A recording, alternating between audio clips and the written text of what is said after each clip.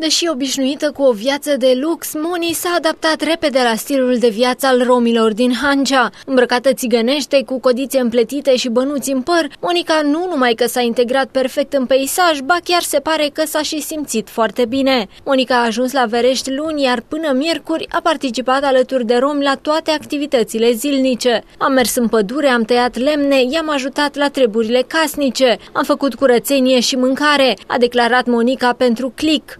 Vestea că Monica a acceptat pe loc provocarea de a locui într-o comunitate de romi a șocat-o până și pe sora ei Ramona. Vai, nu pot să cred că merge acolo, m-au chemat și pe mine, dar am refuzat, a declarat aceasta pentru Click. În urma participării la emisiune, Monica nu a rămas numai cu distracția, ci și cu 3000 de euro, fiind cea mai bine plătită vedetă pentru a roboti în șatră.